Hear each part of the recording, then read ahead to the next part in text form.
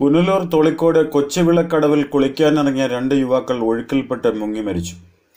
ഞായറാഴ്ച വൈകുന്നേരം ഏകദേശം അഞ്ചര മണിയോടെയാണ് സംഭവം. ഒപ്പമുണ്ടായിരുന്ന സുഹൃത്തുക്കൾ ബഹളം വെച്ച ഉടനെ തന്നെ നാട്ടുകാർ അഗ്നിശമന സേനയെ വിവരം അറിയിക്കുകയും ഇരുവരെയും കരയ്ക്കെടുത്ത് അഗ്നിശമന സേനയുടെ വാഹനത്തിൽ പുനലൂർ താലൂക്ക് ആശുപത്രിയിൽ എത്തിച്ചുവെങ്കിലും ജീവൻ രക്ഷിക്കാൻ ആയില്ല.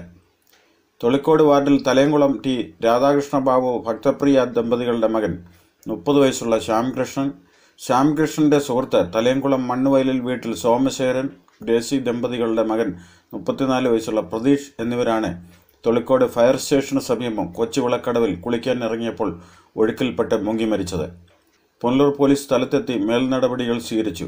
ഇരുവരുടെയും മൃതദേഹങ്ങൾ പോസ്റ്റ്മോർട്ടത്തിനായി പുനലൂർ താലൂക്ക് ആശുപത്രി മോർച്ചറിയിലേക്ക് മാറ്റി.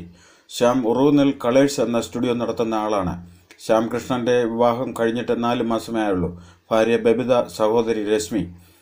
പ്രതീഷ് ജിപ്സം ബോർഡ് വർക്കറാണ്. പ്രിയയാണ് സഹോദരി. News bureau Punalur.